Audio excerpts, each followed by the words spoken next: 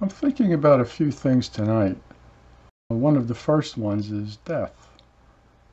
Not a pleasant subject, but I'm trying to do a search for truth. And sometimes, I mean, death is certainly true. We all die. What happens after that? Different opinions, but no one disputes that we're going to die, so it's a fact. I am going. I'm 71, and I remember when I was in my 20s. Well, there were there were people my age dying in Vietnam, and uh, someone I knew in school enlisted and eventually came back minus an arm. And I remember, like, if I heard someone passed away and they were in their 60s, not that I felt unkind, but I thought, well, that's too bad. But they had their life, you know, 60s, like, wow, you know. And now it's uh, I'm in my 70s, and I feel, I don't know, I, but, you know, the body changes. You know, I don't, I'm not, I'm not, I can't go jog around the block like I was in my 20s, but mentally or my personality, I don't feel much different than I was 20 or 30 years ago. I mean, I've changed some opinions, I've read some books, I've forgotten some things, I have a different profession, but essentially I feel like yeah, I'm the same person. I don't know.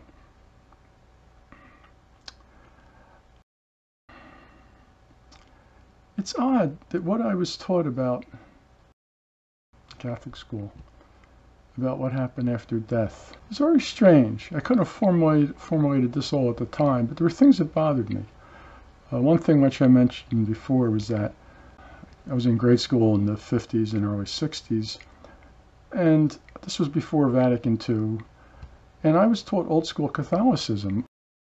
If you didn't have a Catholic baptism, you weren't getting into heaven, period. End of story. Least that's the way I was taught. And a mortal sin could get you in hell. So if you committed a mortal sin and you didn't get forgiven by a priest, and there's some also nuances, if a priest wasn't available and you felt sincere contrition, etc. But the point was, there was the possibility you could die and go to hell forever. We were told. If you committed a mortal sin, and so in other words, if you eating at that time eating meat on Friday was a mortal sin. So supposedly, if you intentionally, in full knowledge that it was Friday, ate the hot dog and said, "I'll go to confession tomorrow," and say you're eight, nine, ten years old, well, you die in the meantime, like in your sleep. Not good. And that seemed, I don't know. Both of those things seemed like, if those were true, that would kind of make God mean, wouldn't it? I mean, okay. And another thing was they didn't even seem to believe it themselves in a way. I mean, I mean the priests and nuns and, and the, the people. I mean, for instance, if a neighbor died and he was known just to go to mass like for Christmas, no one, you know, suppose he died suddenly, no one said, "Gee, I hope, I really hope, you know, George isn't going to hell." No one seemed worried, and when I was in fourth or fifth grade, a boy in my school died of appendicitis. I didn't know him personally. I might have recognized his name. So he died of appendicitis. And the nuns and even the priest came in at one point to assure us he was in heaven. But how could they know that? I mean, they were trying to assure us don't worry. But it's like, how could they know he's not in heaven? If what they taught was true, not not true, if what they taught was fully believed, they'd be worried. Now, maybe you might say, well, they were worried, but they didn't want to show it to the children. Yeah, maybe, but I don't, I don't think so. I, I don't, maybe some of them were. I mean, yeah, maybe some of the nuns really worried. But it just seemed very hard to believe. And it seemed like, was it a way to tell kids don't ask questions? Teach them something and teach it is sacred. Like you've got to believe this. So either you believe it or you don't, but you're afraid to tell anyone. So is is that what it is? I mean, and then this brings me to the idea of faith. If God wanted me to know something, why would He give me bad evidence? You know, like Bible believers, you open up the Bible, the first thing you see is a talking serpent. Now, whether that's true or not, why would God put a talking serpent in a book that he wanted us to believe and then say, well, you've got to take it on faith. I'm not going to give you good evidence. That's my word. I mean, that would be okay. So, first of all, about the health thing, seems like that's kind of a vicious God. I mean, come on. A kid eating a hot dog, being tortured forever.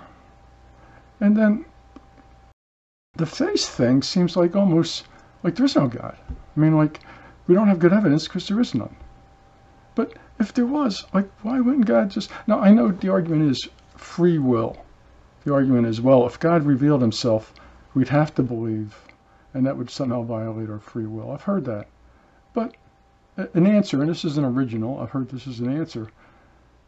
Didn't the devil and his angels absolutely know God existed? Yes. But they revolted anyway. They had free will, and that didn't stop them from revolting. And another thing is, let's suppose there was just like, suppose the whole entire world believed one God, you know, the same God. That would make it a little more credible. But you've got these things where you see so many gods, and if you read the little I've read of history, like when explorers went to these remote islands, when they started exploring the world, I think Europe was going all over the world in the what, 16, 1700s? Well, no, Columbus discovered America 1492. After that, Europe was discovering the whole world. I think in many, many, many, many places, they would find people had their gods, that they had, well, the Europeans would have to have thought the, the gods were invented. They wouldn't have thought that the native people's gods was a genuine God. At least I don't expect they would. And so it's just, just odd. Now, I don't know if I'm tying this together. This is where I just felt like I wanted to say something, but I didn't plan it ahead. And I've spoken about death, and I've spoken about faith. I'm going to pause a second and see what happens. Okay, I'm back. By the way, that is a time discontinuity. We made just made a jump in time. Uh, I'm teaching a Calc 1, uh, one of my courses, and we just covered continuity today. We just began continuity. Neither here nor there. From what I just said about faith, I do find it hard to believe that people really accept this, that people will say, the Bible says with total conviction, the Bible is the Word of God. But I had an interesting thing happen to me once. I was with a group of people, and uh, this woman had recently been to India for a week, a month, whatever, I don't know. And she was an artist. And we were talking, and someone said, What did you like most about India? And the woman who was the artist said, the lack of lack of angularity. And you can imagine everybody said. What? Well, she's an artist. She's very visual. And she lived in San Francisco. And well, in any city, you've got right angles. You've got the flat pavement and the perpendicular building. You've got hard edges. The building has a flat wall. Um, edges, flatness. Whereas I guess she was in a village or some rural area in India, where's foliage, where you walk down a path that winds. It's not perfectly straight and it's not covered with asphalt. Where it is, I, I suppose there was animals, you know, like you'd see more animals, birds or whatever. Okay, so she said that. And people were talking, and this other woman said, You are really visual to the first woman. And the first woman said, Yeah, I guess I am. And then the second woman said, Well, I'm not visual at all. And she told the story uh, she was going out with a guy for a while. And one night she was in the car with him and he was getting more and more upset. She didn't know why. And she said, What's the matter with you? Why are you getting upset? And he said, Didn't you notice? Didn't you notice? She said, Notice what? He said, I shaved off my beard. So the point was, here were two people. One was oppressed by the angularity of a city, and the other one didn't even notice her boyfriend had shaved off his beard. She said she was very invisible. So the point is, I guess, is I feel one way, but there are people I don't understand, but I, I know they exist. That, uh, well, like a suicide bomber. Like, okay, they they they've got to believe what they what they you know what they do because they're killing themselves. I mean, uh, they're not doing it for the money, probably. Okay, I'm back again. This is free form tonight. I didn't write it out, but I think these thoughts tie together. So the next thing I wanted to say was that, uh, I'm probably offending people, okay, for what I'm saying. But I'm just trying to tell what I believe.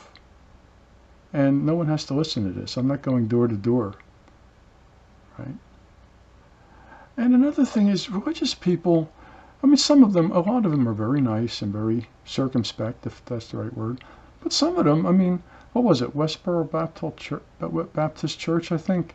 They had signs, something like "Thank God for Dead Soldiers" or something. And they, I guess they had their reasons. I don't know. I never looked into it. But the point was, oh, they're a religion, so I think they got more respect. Well, the point is, I would at least, I would like at least half of that respect. That's that's basically what I'm saying. I'm telling you what I believe. Jehovah Witnesses do that, but they come and knock on your door. I'm not doing that. A lot of churches have much more extreme beliefs than I think I'm saying. Anyway, I guess that's all I'm going to say. I hope these death, faith, and this subject kind of hang together. Thanks.